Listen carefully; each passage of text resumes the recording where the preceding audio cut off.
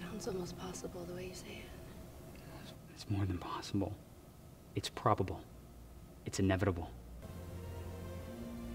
Do you really believe that? Because if I thought you did, it could really go a long way in making me believe it too. Oh god! That's why the dress is tight! It's not bloat, it's baby! Oh my god, and what am I gonna tell Dylan?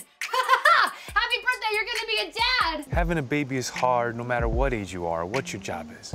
You've just been so good to me ever since we got together. And, and like after starting my business, and we don't have any money. So it's just like the worst possible time. I hardly believe it.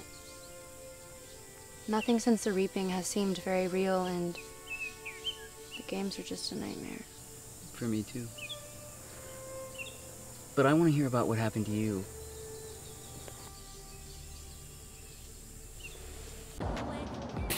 I'm already over it. I am over it. So, although I am completely flattered that you're literally chasing me down. Your headphones.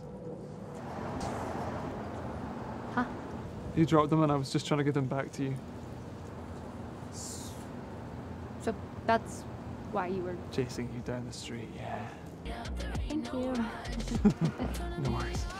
So you're not just in love with me at first sight. Ooh, she was fouled and somehow forced into that house. No, no, please, help! I'm seeing is saying is that he attacked her.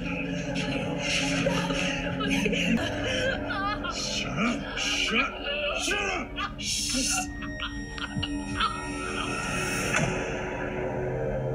That's what every girl wants, right?